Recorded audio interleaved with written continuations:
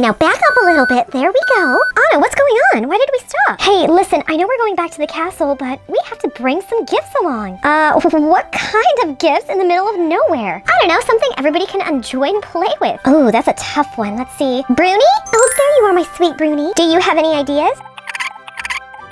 Oh, that's a perfect idea. Caboodle fans, welcome back to Toy Caboodle. Bruni's perfect idea is to make Bruni slime. If you don't know who Bruni is, he's Elsa's salamander sidekick. And he's so adorable. He is grayish blue, he has blue eyes, and I can't wait to see him in the movie. So today, we are gonna be making some Bruni themed slime. So you might be wondering, is this what Bruni looks like? Just one color? Well, we went online. Here's a little clip art of him. Looks like he's white. Here's another image of him. It looks like he's got some blue and purple on the very top of him and some black specks on his feet. So we need to pick a slime that's gonna be purple and blue, some snowflakes because Bruni loves eating snowflakes. Okay, here are the colors that we have to work with. Hmm, I'm really feeling this light purple, plus it has some glitter in it.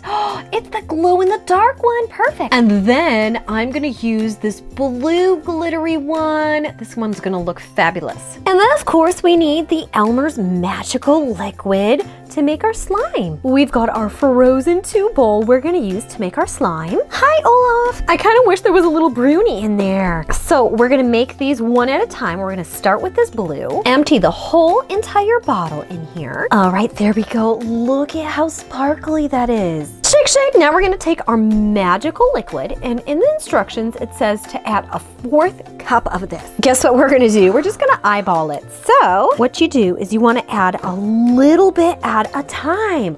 Don't add all of the one-fourth cup in here. All right, some more. And you wanna just keep on mixing it until it forms into a slime. Look, it's already forming. It's so ooey gooey. All right, let's add a little bit more in. Really mix that up. Okay, once it doesn't stick to the bowl, what I'm gonna do is I'm gonna grab it and we are gonna start playing with it with our fingers stretching it, pulling it. Here is our beautiful blue slime. So since Bruni loves eating snow, guess what? We're gonna add some snowflake confetti. We're gonna take our giant slime and I'm gonna go ahead and sprinkle this with a bunch of snowflakes. All right, go ahead and press those in and mix them together. Okay, this looks like an Elsa slime. I'm so happy how it turned out. All right, we're gonna put this slime to the side because now I'm gonna take this glow in the dark purple one and we're gonna make slime out of this one too. Whoa, what an awesome color. Here we go. Now that we've dumped that out, we're gonna grab our Elmer's Magical Liquid and we're gonna pour this a little bit at a time and start mixing it together. Ooh, doesn't that look cool? This is what it looks like so far. So stretchy. Let's keep adding and mixing. Let's go ahead and mix this up with our hand. It's so ooey gooey, feels kind of like brains. All right, Caboodle fans, here is our purple slime. I really like the color of this, but we need to add some mix-ins to it. We're gonna use these foam beads. What a perfect color, it's purple. It's gonna match perfectly. Then I found this really awesome confetti glitter. Kind of looks like ice. And then I'm gonna add these really pretty pink hearts. We're gonna start with these heart confetti. Whoa.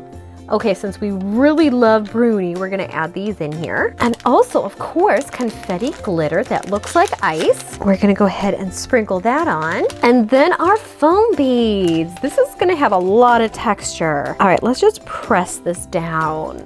I'm just gonna fold this over because it's not sticking. Here we go.